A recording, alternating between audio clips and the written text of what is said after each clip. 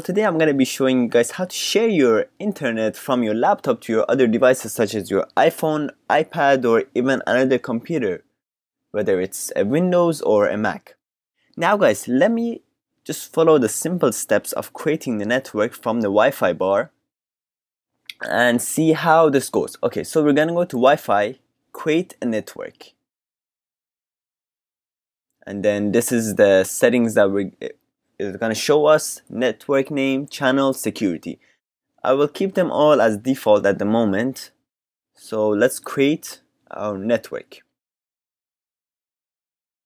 Now I'm going to show you guys how this looks like on my iPhone. So we're going to go to settings, Wi-Fi, and under devices, you can see your network that you have just created. However, it tells me that uh, our network is not connected to the internet. Are you sure you want to use this network?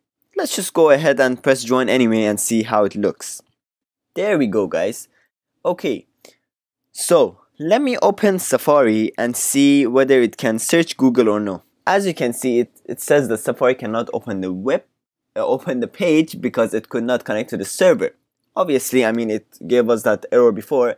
So to do, to solve this solution, what you need to do is that on your Mac, you want to go to System Preferences and then go to Sharing. Just search sharing, it will come up. And there we go, Internet Sharing.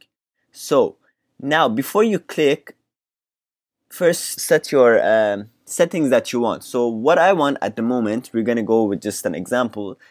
I'm going to share my connection from the Ethernet cable. This is the connection that goes to your laptop and then this is the connection that goes out from your laptop.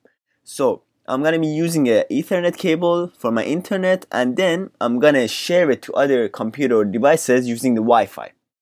Fine let's uh, start the internet sharing. Now it's just a warning for those that have already created. If you start the internet sharing other connections will be lost. But it's our first time so let's just start this connection and let's see how things goes. Okay guys so now you want to go back to your device tap on the setting and go to Wi-Fi and under the network you can see the network's name. In our case it's Aryan Mostajabi so there we go. Now we're connected. So now I'm gonna show you guys how it will look now. Let's close this up. There we go.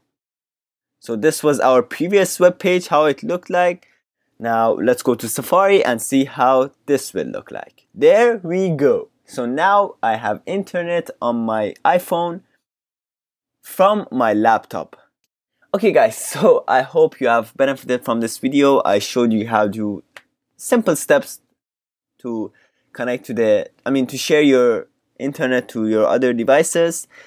If you enjoyed, please don't forget to rate, like, and subscribe. It would help me towards making my videos. And let me know if you face any problem uh, I will try solving it for you guys. See you guys on the next video and goodbye.